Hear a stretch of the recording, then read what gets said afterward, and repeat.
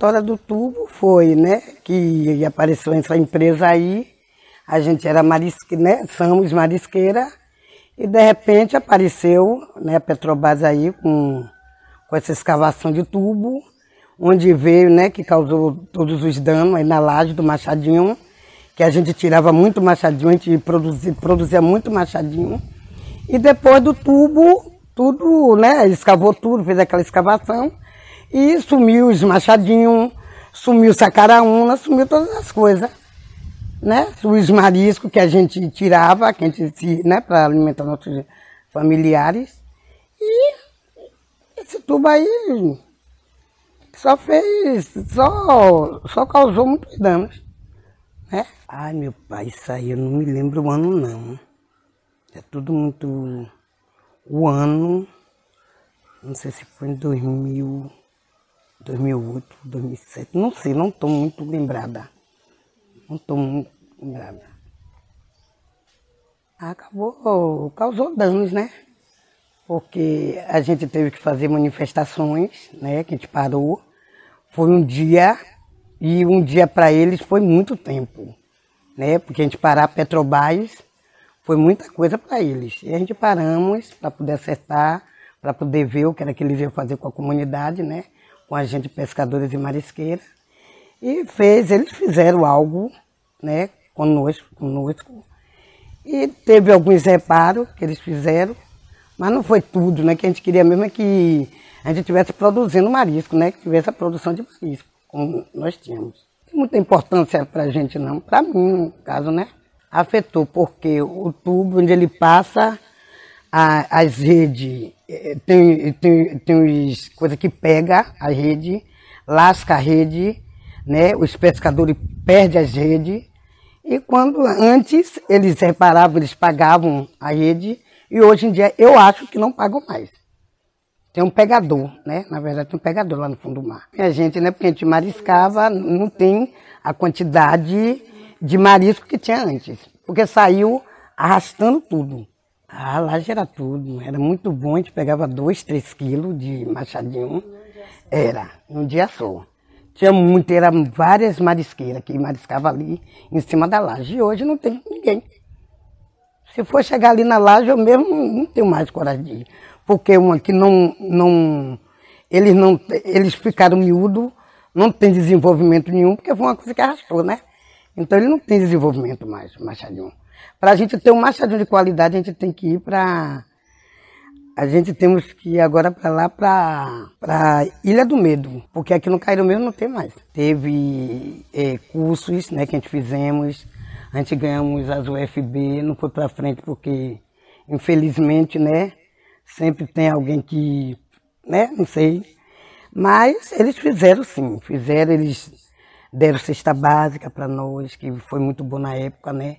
Deram bujão de gás, deram curso, né? Que profissionalizou a gente, que hoje eu sei de alguma coisa através do curso da Petrobras que eles fizeram com a gente, e os conhecimentos, né? Que, que a gente vai levar pro resto da vida.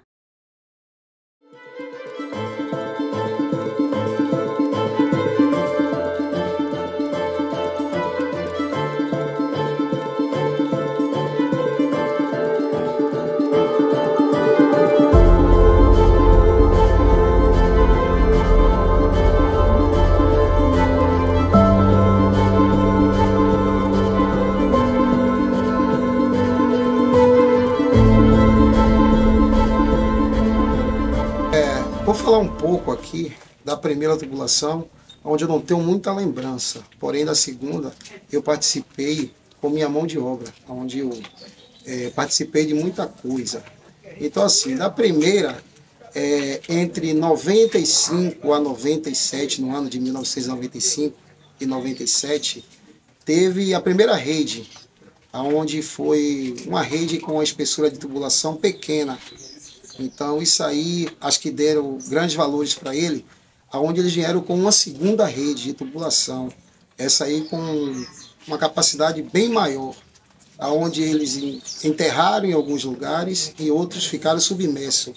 Então isso aí deu impacto para a gente, Porém, para a gente como trabalhador foi bom, onde trabalhamos em período de um ano, aonde pagava bem, certo? Mas só que depois isso aí veio um impacto negativo. O quê?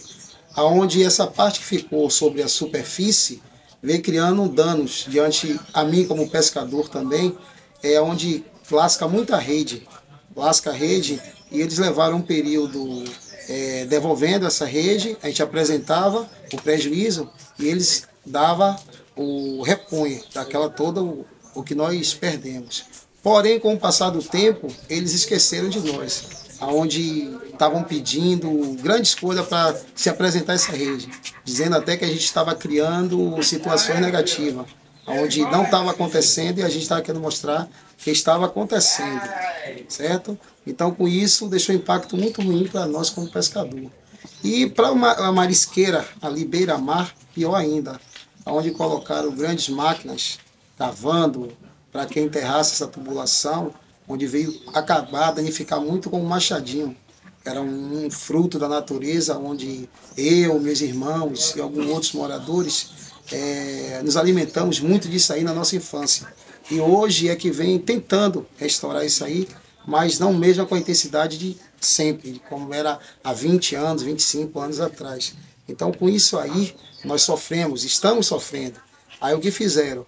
Com esse dano, a população correu atrás e eles deram cesta básica, vale gás, em um período de 30, ou 3 meses a 4 meses, alguma coisa desse tipo, que eu não lembro. Então o pessoal, infelizmente, nós como somos, temos uma renda muito pouca, é, fomos enganados dessa forma. Aceitamos, aceitamos pensando que seria um período, uma, uma intensidade bem maior, porém não foi. Assinamos documentos onde não tinham conhecimentos e, resumindo, parou com tudo isso. E hoje vivemos dessa forma. Não temos o nosso produto ali no mar, não podemos pescar por motivo, temos o nosso litoral restrito hoje, onde nem todo lugar podemos passar com a nossa rede, porque senão perdemos o pouco que temos, e eles esqueceram de nós, onde não repõe mais nada.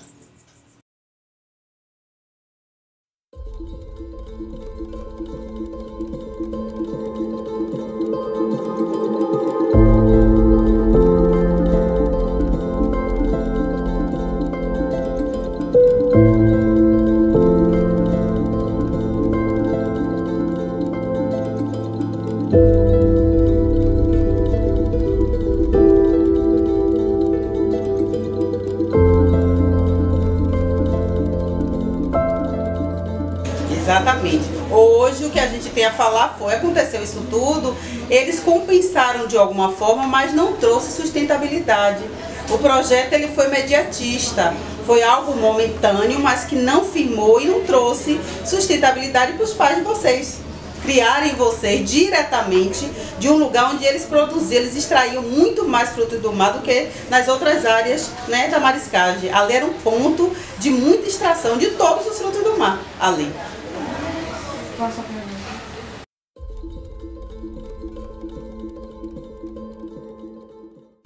É, a comunidade, devido ao, ao impacto ambiental, é, me escolheu a fazer o monitoramento pesqueiro. Então, algumas marisqueiras não existia associação de pesca, só, assisti, só existia associação de moradores. E foi naquela época que surgiu também a associação de pescadores e marisqueiros de Cairu que eu também estava dentro também dessa, dessa associação.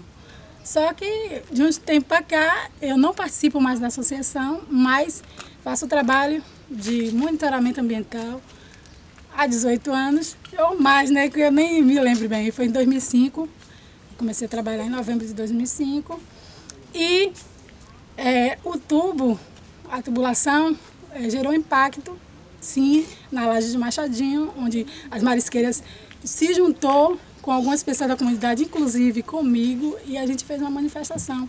Queimaram pneus na, lá na próxima barra do Paraguaçu, na entrada da barra, e aqui na praia, algumas marisqueiras é, que pegava o machadinho.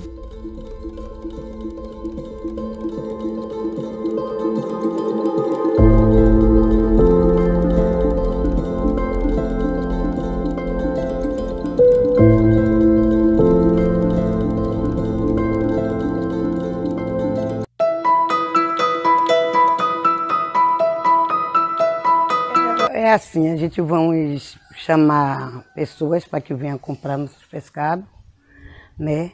Para que a gente possa botar para frente, né? A gente, a gente tem uma equipe, né? Que a gente vamos procurar fregueses para vir pegar nossos pescados, ter um carro para vir pegar, ou a gente levar até as pessoas. É assim, vai, tá, dar tudo certo, já deu.